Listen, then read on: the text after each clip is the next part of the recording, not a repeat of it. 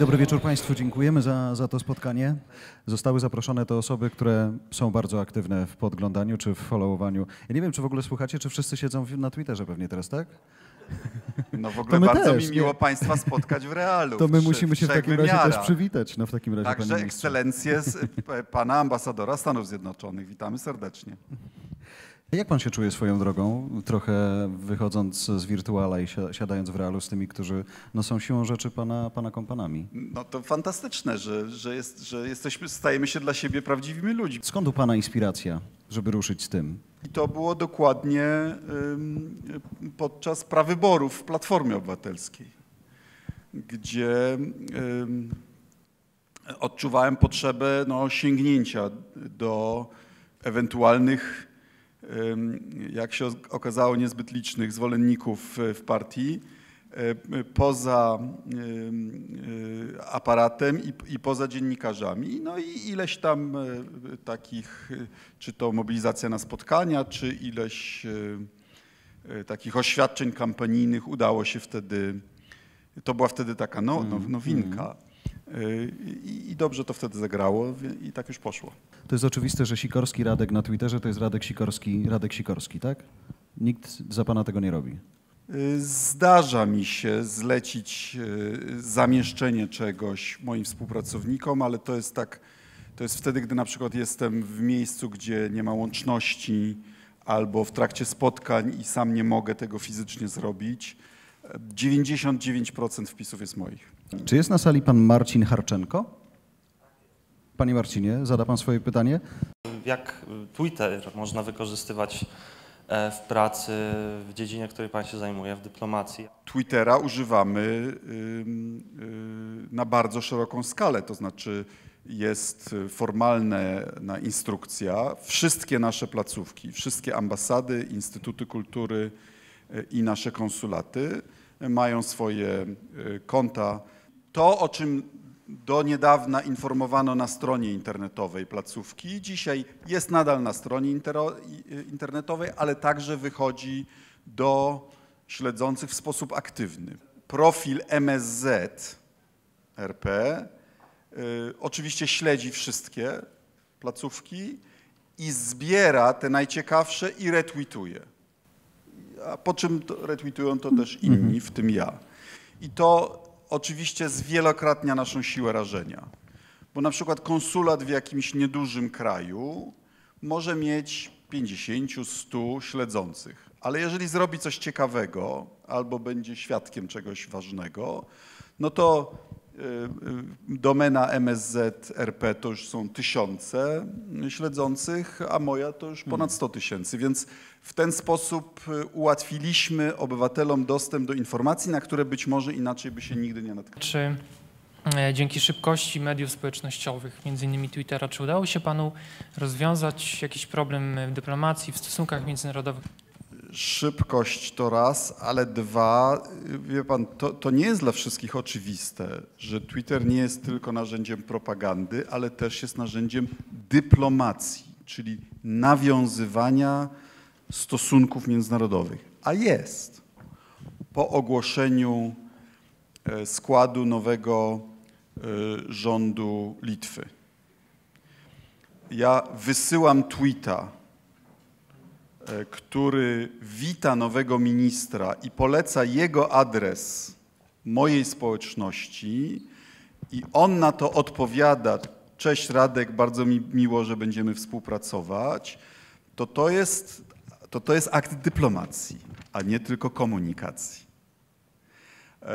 I to bardzo ułatwiło nam nawiązanie y, kole, koleżeńskich y, stosunków. Czy bycie mężem stanu współcześnie traci na znaczeniu w erze globalnej dyplomacji, szczególnie takiej europejskiej, kiedy jest Twitter? Ja nie wiem, co to znaczy dzisiaj być mężem stanu. Ja raczej bym powiedział, że staramy się pro, działać profesjonalnie, to znaczy osiągać wyznaczone cele. Kiedyś była sztafeta, potem y, telefon, potem faks, potem em, mail. Ja pamiętam 15 lat temu uważano, że komunikat na stronie internetowej, a nie podany do agencji prasowej, to jakieś takie półpoważne. Że nie prawda? wypada. Hmm. Nie, nie wypada. E, A, a teraz Twitter. Więc ja uważam, że środki techniczne są po prostu y, kwestią drugorzędną. To, co się ma pod drugorzędną, chociaż bardzo pomocną. Skutek jest ważny. E, e, a, a, a natura stosunków międzynarodowych się nie zmieniła. Gdzie Pana zdaniem przebiega granica pomiędzy właśnie dyplomacją a e, ingerencją w sprawy wewnętrzne w przypadku stosowania tych wszystkich narzędzi dyplomacji cyfrowej? Ten podział na politykę y, wewnętrzną i zagraniczną nigdy nie był tak ostry, jak się to niektórym wydaje. Od zawsze wewnętrzna konstrukcja państw y, miała wpływ na model ich relacji zewnętrznych. Ja bym postawił taką tezę, że e, w, w tym odwiecznym dylemacie, czego powinno być więcej w polityce zagranicznej, wartości czy interesu, to im dalej od naszych granic, tym bardziej możemy się kierować interesem, a im bliżej naszych granic, tym bardziej wartościami. Bo e, bardziej nam zależy, żeby nasi sąsiedzi byli podobni do nas, byli demokratyczni, em, aby obowiązywały e, u nich rządy prawa, bo zgadzam się generalnie z tezą, że demokracje nie idą na wojny z sobą. Wobec tego czujemy się bezpieczniejsi, im bardziej demokratyczni są nasi sąsiedzi. I to oczywiście oznacza ingerencję w wewnętrzne sprawy, no bo wypowiadamy się co do wewnętrznego ustroju innego państwa. Ja sobie mogę przypomnieć, gdy my w Polsce y, no, łaknęliśmy tej interwencji z zewnątrz, gdy my sami żyliśmy w kraju niedemokratycznym, jako społeczeństwo identyfikowaliśmy się z demokratycznym Zachodem i, i zależało nam, żeby on interweniował w naszym kraju na rzecz demokracji. Em, I Polska tutaj jest wręcz em, przykładem y, i mamy bliskie, y, bliskie, bliski dialog z wieloma krajami o tym, jak skutecznie eksportować demokrację. Jest to nasza polska specjalność i nie będziemy się tego wstydzić. Panie ministrze Sikorski-Radek, doceniam sukces żony, ale szef dyplomacji Rzeczpospolitej Polskiej nie powinien się zajmować reklamowaniem książek kucharskich. Em, Mea culpa, ale to jest moje osobiste konto. Tym sensie, że y, Sikorski Radek będzie nadawał nawet wtedy, gdy przestanę już być ministrem. Y, Jest profil oficjalny Ministerstwa Spraw Zagranicznych i tam nie, nie, nie, nie, nie ośmieliłbym się wpływać na to, aby to oficjalne konto y, faworyzowało kogokolwiek.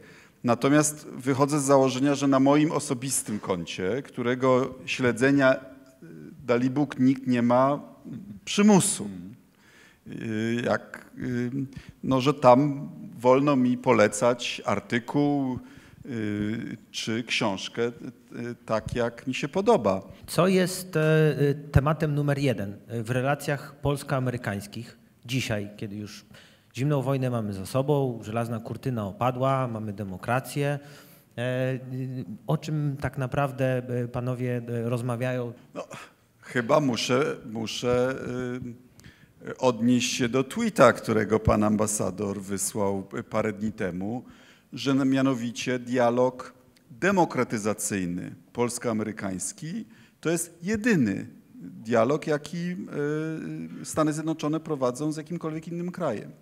Bo tu y, się uzupełniamy. Stany Zjednoczone mają globalne zdolności oddziaływania, ale my mamy coś, czego oni nie mają. Mamy renomę kraju, który wykonał niedawno udaną transformację. Mamy wielkość, e, wobec do której innym się łatwiej odnieść. E, Dla Birmy Polska jest bardziej przekonywującym przykładem niż Stany Zjednoczone.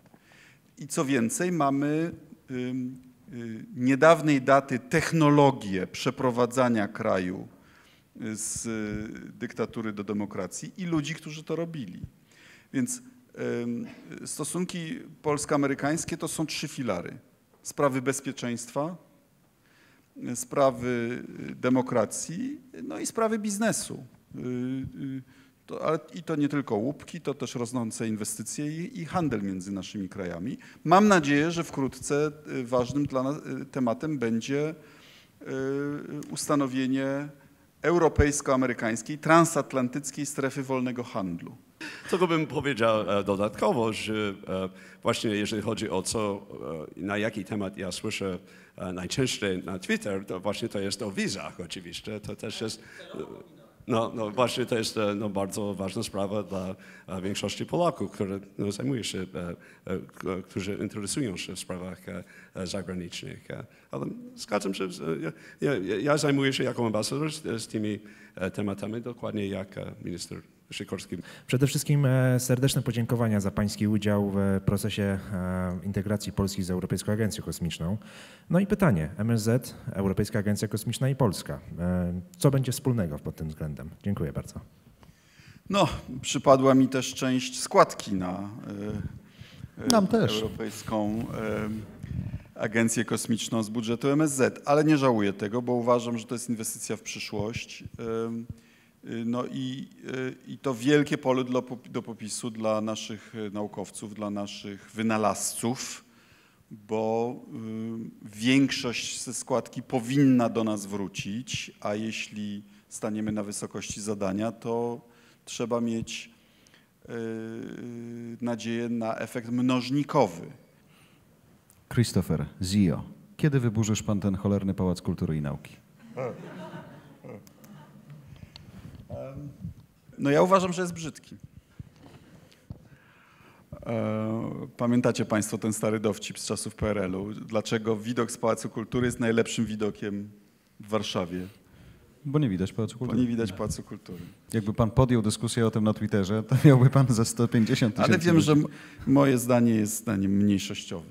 Obiecuję przestrzegać prawa w temacie Pałacu Kultury. Po pierwsze, sprawa Litwy. Czy w jakiś sposób wspieramy ten, to nawiązanie dialogu, który od wieków jest już dość trudny? I druga sprawa, e, gazociąg Nabucco. Co MSZ z tym robi i czy to jest nadal sprawa leżąca na stołach negocjacyjnych? Może zacznę od Nabucco. Polska niezmiennie uważa, że dywersyfikacja musi polegać na zwiększeniu ilości tras, ale także źródeł.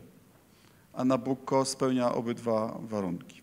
Jeśli chodzi o stosunki z Litwą, e, no to wszyscy znamy ich historię. E, Wydaje mi się, że e, dzięki poprzedniemu rządowi trochę zobaczyliśmy się w nowym świetle, to znaczy tym, że, że niekoniecznie wszyscy nas na Litwie kochają i że trzeba się do tego przyzwyczaić. Polska jako większy partner zawsze powinna wykonywać pierwszy gest i ten gest wykonaliśmy. Znalazł on odzew, a teraz potrzeba paru miesięcy na praktyczne kroki. Jeśli one będą, y, no to, to, to, to stosunki się polepszą, czego bardzo bym sobie życzył. Bardzo Państwu dziękuję za to spotkanie, choć y, pewnie Pan będzie chciał to zrobić y, we własnym imieniu. Ja, ja, ja w swoim za to, że Państwo tutaj przyszli, że zaangażowali się w tę naszą rozmowę. Bardzo dziękuję. Dziękuję Państwu serdecznie. No i muszę powiedzieć, że y, Twitter będzie dla mnie teraz jeszcze ciekawszy, bo będę o Państwu pamiętał i, i że, że to już naprawdę nie jest tylko jakiś programik, jakieś, jakieś literki, tylko prawdziwi ludzie i że y, Państwa obecność jest dla mnie inspiracją i dowodem na to, że ktoś te moje tweety czyta. Dziękuję bardzo. Dziękujemy. Dobrego wieczoru.